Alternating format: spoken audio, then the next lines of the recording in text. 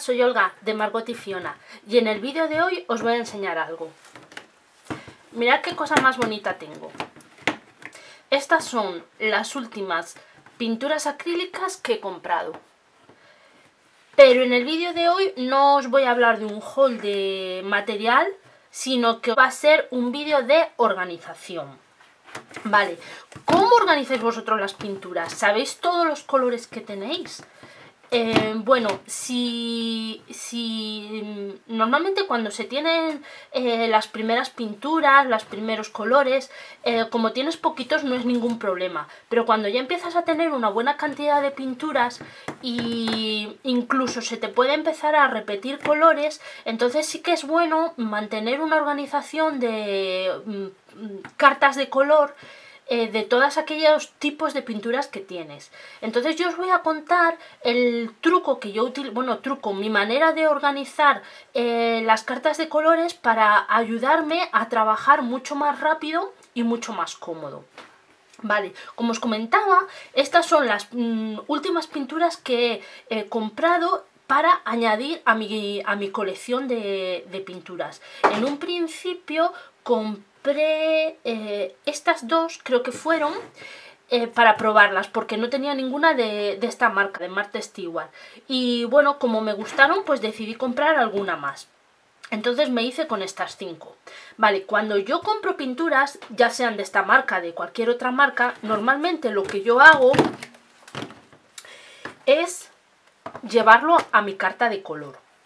En este carpesano yo tengo, bueno, pues tengo de, todo de todos los tipos de, color que yo tengo, eh, yo hago mi carta de color y entonces los voy añadiendo. Bueno, aquí como veis tengo de, todo tipo, desde los Pit Artist Pen de Faber-Castell, los Letraset de Winsor Newton, los Tria de Letraset también, Spectrum Noir, aquí tengo más, a ver, estas son ceras acuarelables de la marca Manly. Estos son, eh, sí, las acuarelas en pastilla de, de Gansai, de Kuretake, los Neocolor. Bueno, estos son una carta de color que saqué de acuarelas Van Gogh, eh, Distress Ink, acuarelas Vallejo líquidas, eh, Ecoline de, de, la marca Talent, que también son líquidas, están, son, están muy bien. Eh, bueno, aquí tengo pigmentos, eh, ceras acuarelables, eh, los gelatos, la carta de color de gelatos, bueno, mm, acrílicas de titán y aquí tengo las de Martha Stewart. Es la, aquí tengo por ejemplo las de la americana, tengo Dilution, Distress Paint, bueno, tengo varias, ¿no? las Dilution las tengo aquí, que por cierto me, me parecen maravillosas. Bueno, pero nos centramos a lo que íbamos.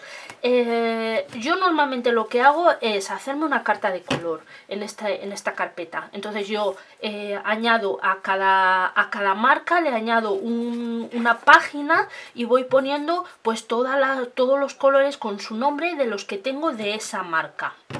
Vale, hasta ahí lo normal. Yo creo que todo el mundo eh, o la mayoría de la gente que se hace cartas de colores lo hacen de esta manera. Pero aquí me surge un problema y es cuando yo estoy trabajando y quiero un color determinado, sobre todo en mix media, eh, a lo mejor quieres un color, eh, un rojo, pero no cualquier rojo, sino no cualquier rojo, sino un, un rojo determinado. Entonces, eh, yo sé que lo tengo, pero no sé de qué marca exactamente lo tengo. Entonces, claro, eh, la manera de mirarlo de esta forma, mm, página por página, pues puede ser un poco complicado. Entonces yo lo que hice fue, además de eh, hacer la carta de color por marca comercial, yo tengo estos cuadraditos que los tengo ya preparados para ir añadiendo los colores cada vez que compro una pintura determinada. En este caso, yo tengo aquí los cinco colores nuevos que tengo. Los tengo de esta manera. Luego, por la parte de atrás, le pongo el nombre y, entre paréntesis, la marca comercial. Marta Stewart.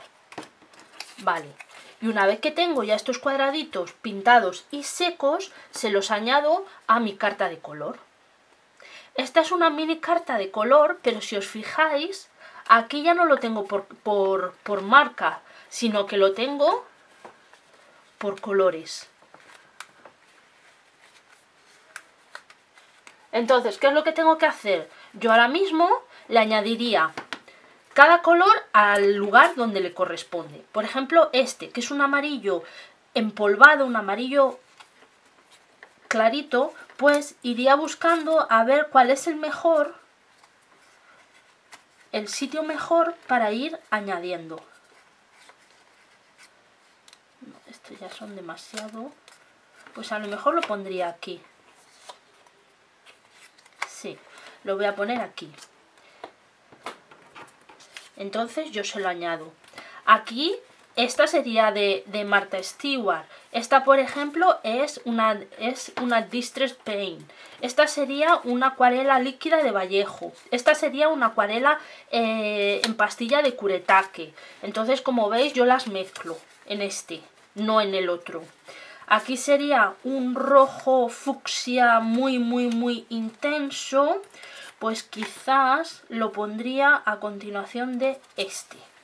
Eso es, este que es la acuarela escarlata líquida de Vallejo, pues la siguiente sería esta que es una acrílica de Marta Stewart.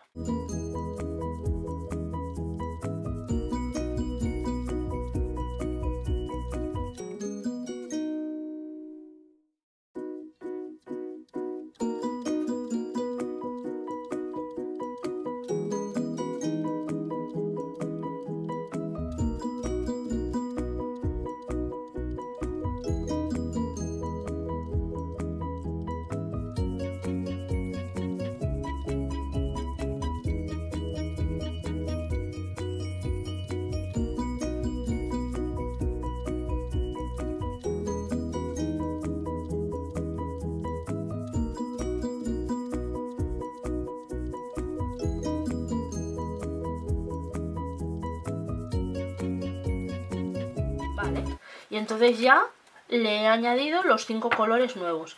Esto me facilita que a la hora de trabajar, cuando yo estoy buscando un determinado color, pues lo voy a encontrar perfectamente y de forma súper rápida.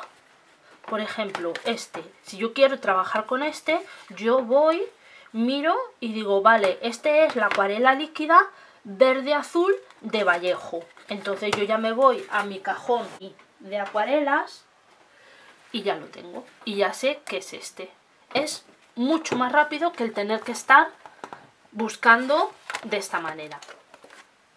Y nada más. Pues espero que os haya gustado este tip, este truquillo de organización, que me dejéis un comentario abajo y nada, iré haciendo eh, poco a poco vídeos eh, cortitos con algunos trucos de organización para hacernos la vida y el trabajo mucho más fácil. Un saludo y hasta el próximo vídeo. ¡Chao!